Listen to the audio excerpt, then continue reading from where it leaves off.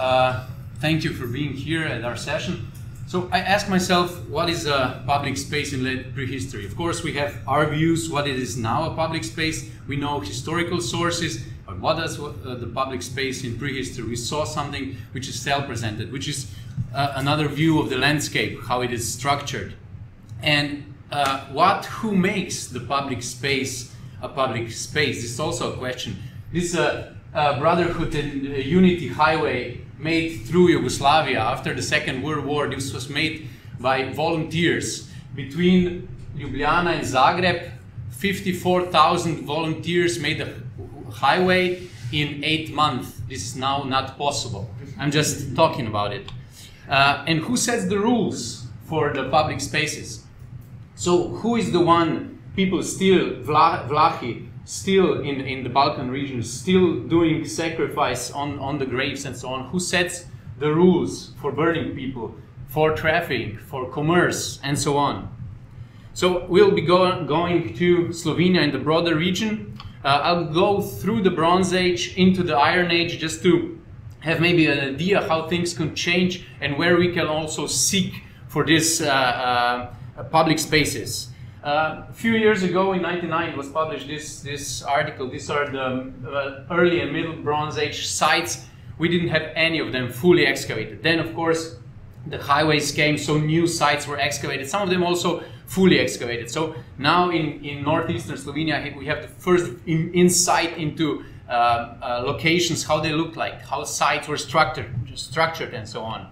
So one of the sites, as you see, it's Sodolek is dated uh, in the middle and in the beginning of the late Bronze Age, just to see how it was it was located near a stream, which is quite often, and you see the houses, and in the center of this site, you see a more or less uh, empty space. This is something which is to us very familiar to see some some common places in the center of small settlements, and then we have a little bigger settlement. Again, this is uh, Pince from the same period. Uh, middle to the late Bronze Age. This is a bigger site, and this is also this is new. So this is plowing, modern plowing. This is what is seen here in the center. So again, there is a site with a big empty place in the center, and we have fireplaces which were found only in this area. And then we move forward. This is Rogoza from a site from the Hallstatt A period. It's dated approximately between 1,200 and 1,000, plus minus.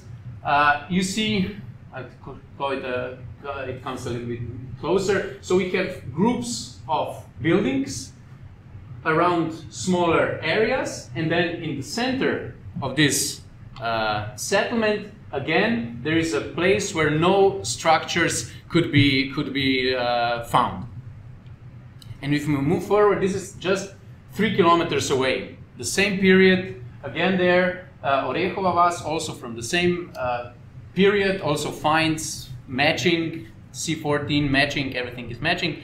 We see a quite interesting situation, different situation. We see two bigger groups of houses, in, and in the middle of it, here, we see a interesting structure. None of the structures are like that. It's a house, a building built on some timbers and it has a ditch, whereas all the others were houses were built with post, post holes, classical uh, building, and we have a big, no one knows what it is, pit of, of irregular shape at the edge of the of this um, settlement.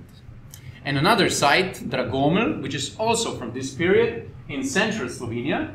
It wasn't published yet, but just some pieces of it are published already. So we have groups of buildings again.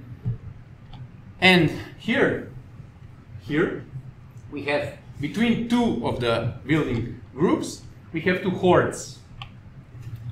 Those hoards, and we see two of them. One is a big hoard with a lot of material, uh, and the other one, it's a small hoard. This one just scrap, cut, axis. It's, date, it's a little bit later if we date this, this um, biconical uh, ingots and so on and so on, and plano-convex ingots, it can be a little bit uh, later. So this is an overview what happens in the middle and the late Bronze Age in uh, central and northeastern Slovenia. But I would mo mostly focus on the uh, on the Iron Age. Uh, what happens in the Iron Age?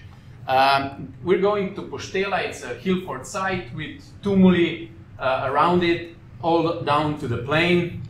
Tumuli with one individual buried in the central burial chamber. We know these attires from the Hall, classical attire from the Hallstatt period.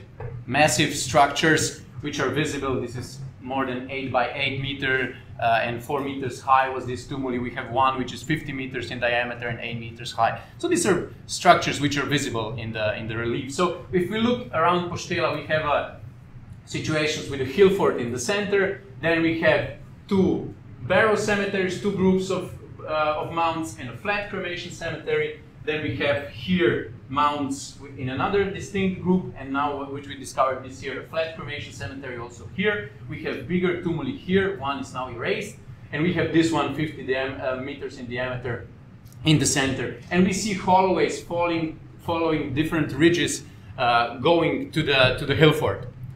And this is the uh, place, the, the upper part of the hill fort with the, with the, with the groups of barrows. So I asked also myself, is community work also creating public things, public spaces? We did a lot of geophysics. And of course, one of the things is the rampart.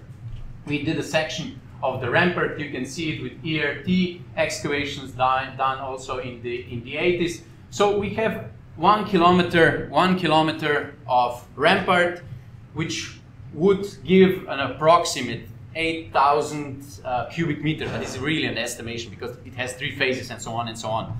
But we don't mustn't forget about the interior of the settlement because we excavated a trench here in the central part.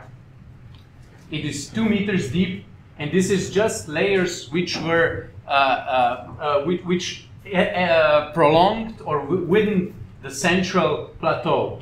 The central plateau is almost 5,000 square meters, and on this on this edge, it, is, it goes down to two meters.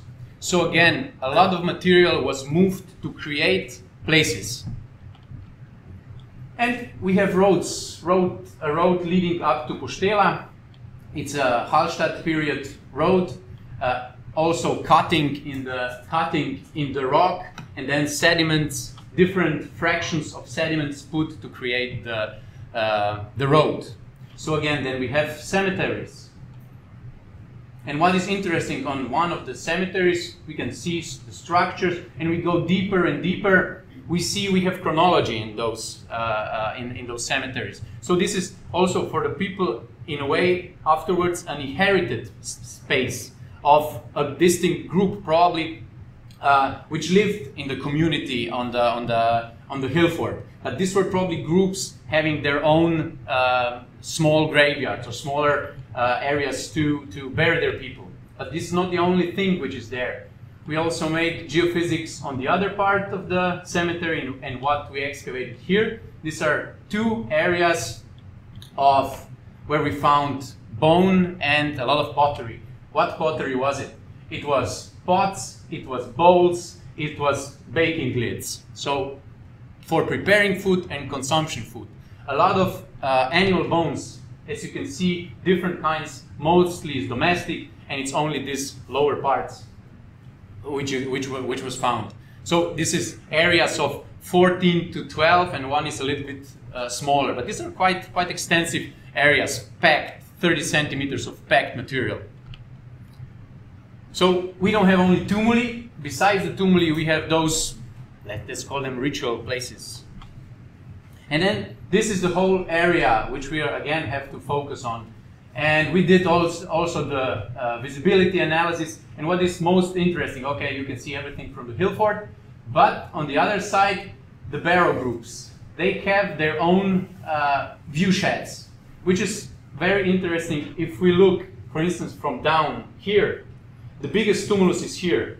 You don't see it. It's a small ridge in between.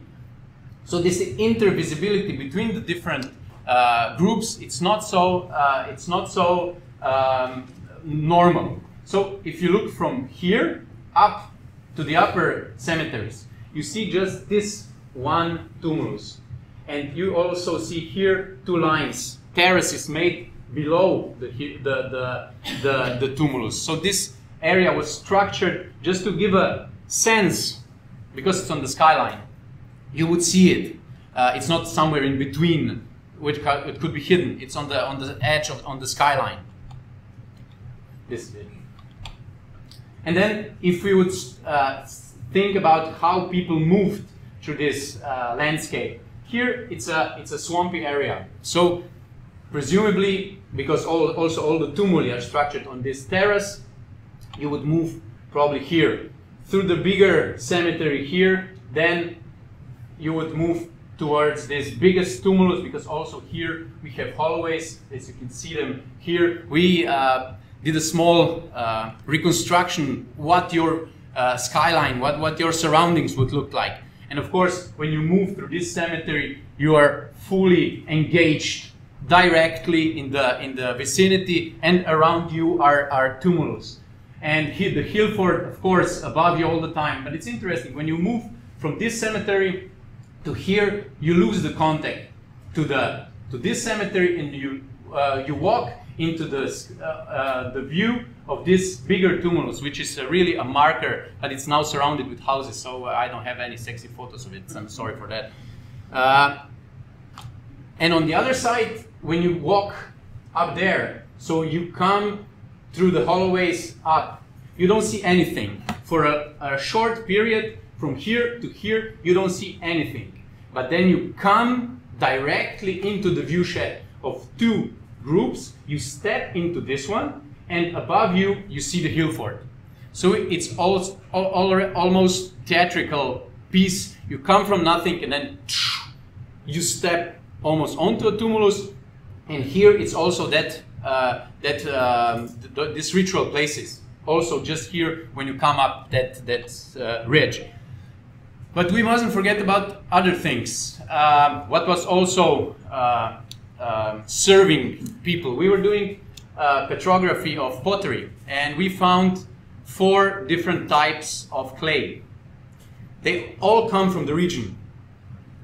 And there are four different types. We found approximately three, two of them sources on, on the areas, but for two we don't have a clue where to find them. But all the pottery, we checked a lot of pottery uh, with petrography, but they're made of four, four clays. So of course they had areas where to source from, where to get clays. And we'll have to, of course, check what the others around were doing, using the same sources or were there, this, this source is their sources.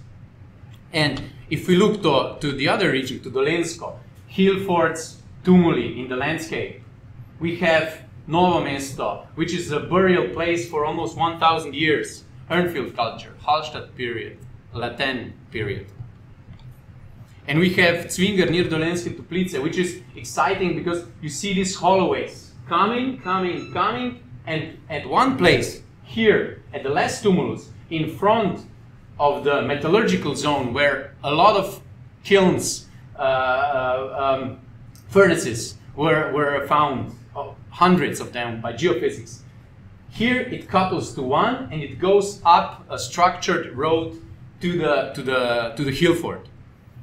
Veliki Vinji Vrh even more. You can see tens of tumulus structured on the ridge leading you to the, to the, to the hill fort. And this area is huge. It's five by five kilometers, what you're seeing right now here. So my question, of course, is uh, where can we seek the, uh, the public spaces? What can we say were the public spaces? Because people were engaging with their uh, surroundings. We can look for structures, but must not look only for structures. Because as, as we saw before, intervisibility is there, but there probably was something else. Uh, people claimed their land in a way, probably here with tumuli. People leading uh, the, this tumuli leading you the, to the to the site, but also to the commerce, the people coming. It was a sign. This is our our place. But who was the one who was ahead of this? I mean, we are also every every time we are talking about a hill fort, we say yes, people came and they made in one one run they made the the, the fortress and so on and so on. But it wasn't like that. It wasn't this socialistic. Yeah, we all go, we do, do work, we, we, we do our, our road of, of uh, um, community. So these questions are so many, these signs are so many, and it, it changes. I, I won't say it's, it's too complex, it's different complexities from the Bronze to the Iron Age. But for now, what we see, we see different societies acting differently. And I have more questions than I had before, so I'll just thank you for your attention.